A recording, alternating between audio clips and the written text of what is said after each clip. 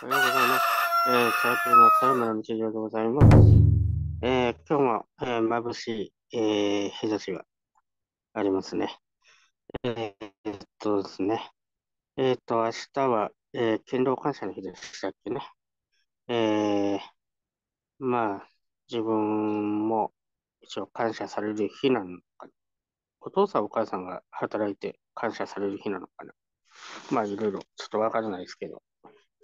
えー、っと、まあ、明日はね、えー、まあそういった祭日ということで、まあ祭日にもね、えー、一つ一つ、えー、まあ、いろんな何の日とか書いてあるんで、いろいろな、ちょっと意味があると思うんですけど、あまりね、深くちゃんと考えたことはなかったんですけど、えー、ちょっとそういうことも少しずつ考えていけたらいいかなと思います。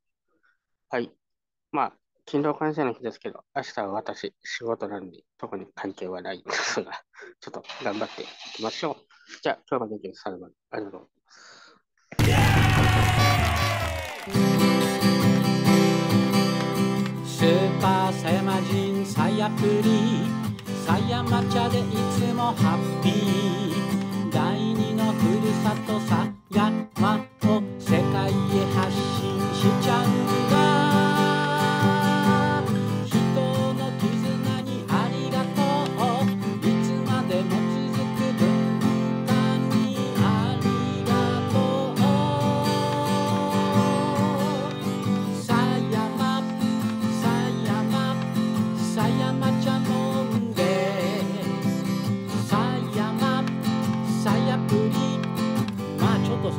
주시네.